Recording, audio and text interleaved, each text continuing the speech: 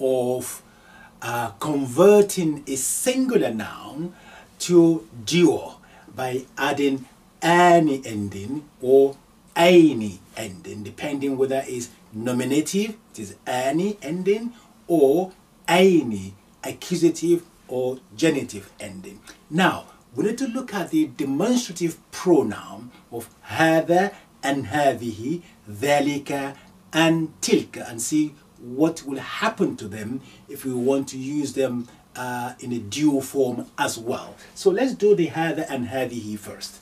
So we have hada, هذا this is a singular now uh, that becomes هذان is similar to what we did before so we're at lengthening alif and nun with kesra or هذين ها they هذين so we're going to write ya instead of alif هذين هذين so هذا هذان هذين what about هذه let's look at the هذه ها the he now the logic is telling you you want to say هذهان but no It's not heavy, the honey for dew for heavy. he.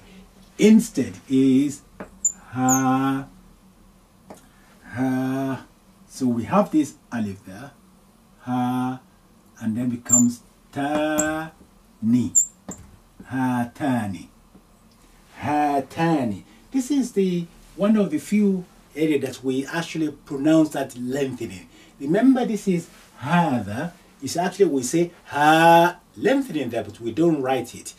Hadihi. Also, there's a alif there which we don't write. But when you want to say dual for hadaini, these are two cars, for instance, you will say ha. You oh, you actually have to write that lengthening alif. Hatani tani, for instance, or hataini. So again, you write it.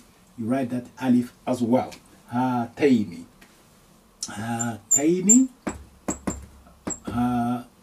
هاتين so هذه هاتان هاتين now let's move to the ذلك ذلك is uh, masculine ذلك that is ذلك becomes ذلك all that is here on page uh, 30, 30, 37 so you have your ذلك and ذلك and ذلك so ذلك becomes the again you write that alif ذلك let's put that in red ذلك ذلك and ذينك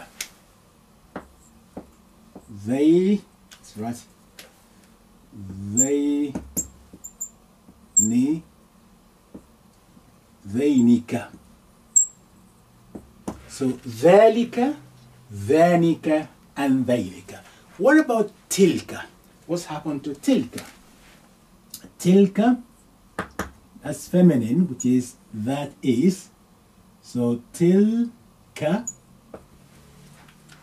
and the same thing you say tanika you have your uh, uh, tilka tanika and tainika ta, tilka ta put that alif as well in red. Ta ni ka. And tainika. Tai tai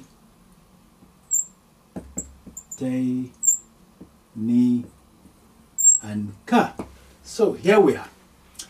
Duo in arabic is not commonly used. Of course when you are writing and when you want to speak properly and following the modern standard Arabic grammar, this is what you need to say.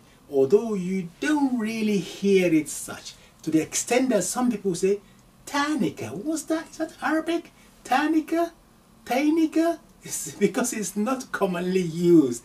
People they say, I've never heard that before, but it is true. Yes, this is هذا هذان هذين هذه هاتان هاتين ذلك ذانك ذينك تلك تانك and تينك Now let's do exercise 29 together orally.